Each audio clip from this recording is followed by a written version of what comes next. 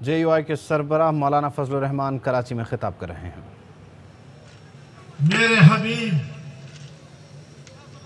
हज़रत मोहम्मद मुस्तफ़ा सल्लल्लाहु अलैहि वसल्लम के हरम अकदस की बेहरमती, उसी उसी यहूदी लाबी के एजेंटों ने की। पहला हक आप पर था। कि आप उसी मैदान में इकट्ठे हों? और उन कुवतों को ललकारें कि न तुम्हारे बाप को जुर्रत हो सकी। और अगर तुमने हरम अकदस की हुरबत में किसी किस्म की तोहीन का irtikab किया तो हम तुम्हारी जबानों को गुत्थी से खींच लेंगे और कयामत तक तुम्हारी जबानों को खामोश कर देंगे। इसराइल मुर्दाबाद मुर्दाबाद मुर्दाबाद!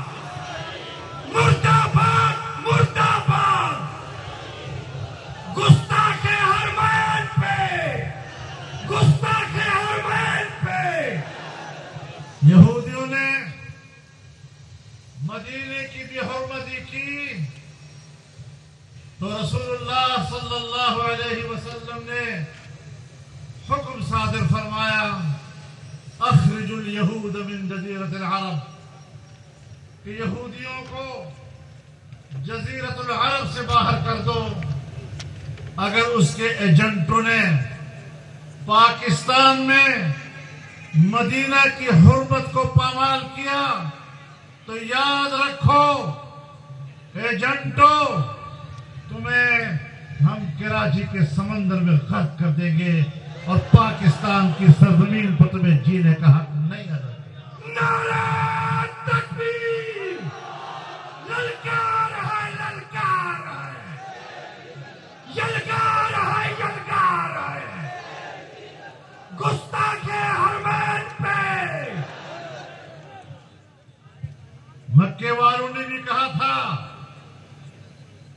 कि ये लावारिस है।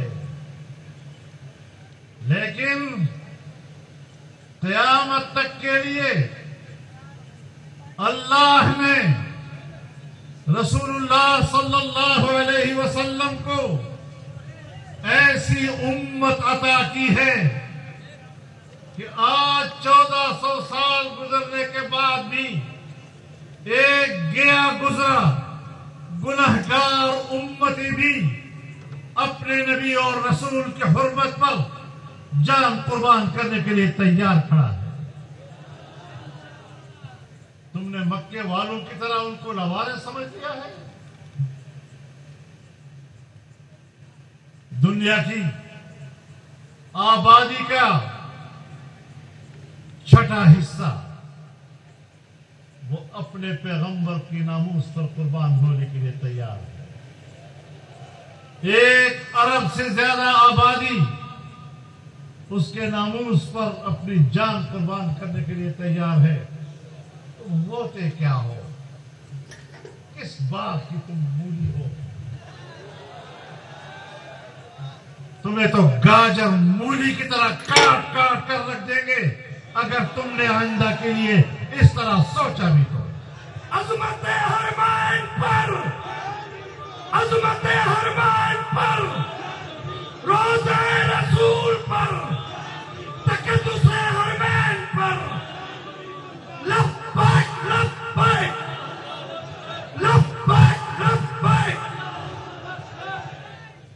हम तहम्मुल और बर्दाश्त के लोग हैं हमने हर मुश्किल को बड़े सब्र तहम्मुल और बर्दाश्त के साथ अमूर किया लेकिन यही वो मकाम है। यही वो मंजिल है। यही हुर्मत रसूल का वो मकाम है, जहाँ सबर का बंधन टूट जाता है, जहाँ तहमुल का बंधन टूट जाता है, जहाँ बर्दाश्त नाम की कोई चीज़ उसकी तीबत नहीं है। इमरान खान, सुन लो। तुम्हें लोगों ने, मगरब ने, अमेरिका ने, बरतानिया ने, यहूदी लाबी ने आसमान पर चढ़ा दिया। अक्ल है तो यही, विजन है तो यही। प्रोग्राम है तो इसी के पास। खुशहाली लाएगा तो यही। आसमान पर चढ़ा दिया तुझे। हम चाहे ना चाहे। अल्लाह बेपरवाह है। उसका अपना एक निज़ाम है। तो इकतदार में आ गया। मैं समझता हूँ अच्छा हुआ तो इकतदार में आ गया। तेरी नाअहली दुनिया के सामने आ गई। तेरी नालायकी तस्तबाम हो गई। तो अपने अहलियत के लिहाज से नंगा तड़ंगा हो गया। आज फिर गाँव गाँव फिर रहा है, जलसा जलसा खेल रहा है। तो मैं कहता हूँ, इसमें भी अल्लाह की हिकमत है। पहले आप कारकर्दगी के लिहाज से नाअहल साबित हुए। आज तुम इंशाल्लाह दिमागी लिहाज से बीमार साबित होकर रहोगे। दुनिया को दिखाएगा कि ये जहनी बीमार, ये दिमागी बीमार, ये पाकिस्तान में सियासत कर रहा है। कम वक्त तेरी वजह से पाकिस्तान की सियासत बदनाम हो गई उसकी वैल्यू गिर गई। मुर्दाबाद नशाई न्याजी नशाई न्याजी मरीज़ न्याजी बीमार न्याजी बीमार न्याजी लेकिन मैं आपको मुतरबिह करना चाहता हूँ कि जहाँ ये नाअहल और ये जहनी बीमार वहाँ पर एक फितना भी है। ऐसे पैरोकार उसने पैदा कर दिए। कि अगर वो अल्लाह होने का दावा करे तो कहते हैं, हम फिर भी उनके साथ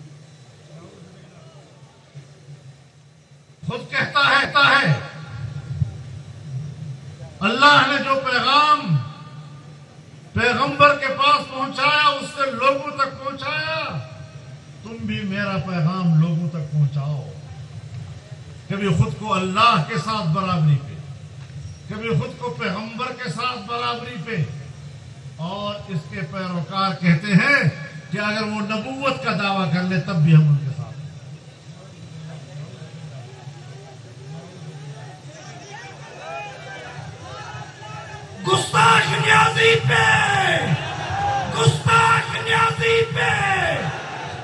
कराची से बरह रास्त मनाजिर आप देख रहे हैं, जहाँ जमीयत इस्लाम की एक कॉन्फ्रेंस है, जिससे मौलाना फजल रहमान खिताब कर रहे हैं। पाकिस्तान तहरीक इंसाफ और पाकिस्तान तहरीक इंसाफ के चेयरमैन इमरान खान पर तनकीद कर रहे हैं। तरबियत की, उसको बनाया नबूवत के लिए, आज वो मेरी भी तरबियत कर रहा है। इस फ़िक्र और इस सोच का आज भी पाकिस्तान में सियासत इसे कहते हैं? दज्ल दज्जाल दज्ल से। और दज्जाल भी जब आएगा तो उसके माथे पर काफिर लिखा होगा। लेकिन उसके दम से बारिश भी होगी मुर्दे भी ज़िंदा होंगे। जहाँ थूक फेंकेगा, वहाँ से सब्जा भी उगेगा। करामात भी दिखाएगा। लेकिन होगा दज्जाल। होगा फितना। मैं आपको इस फितने से भी डराना चाहता हूँ। और मुतनबे करना चाहता हूँ कि हम खाम खा इसके खिलाफ नहीं आए मैदान में। और आज कुछ लोगों के पीछे फिर रहा है। हमारी तरह के कुछ मजहबी रंग वाले लोग। उनको ये दीन सिखाएगा। जो मौलवी बेचारा कदर यतीम हो जाए कि उसे इमरान खान के साय की ज़रूरत हो, इसकी ये यतीमी पे रहम आता है। मुर्दाबाद, सरकारी मौलवी सरकारी मौलवी।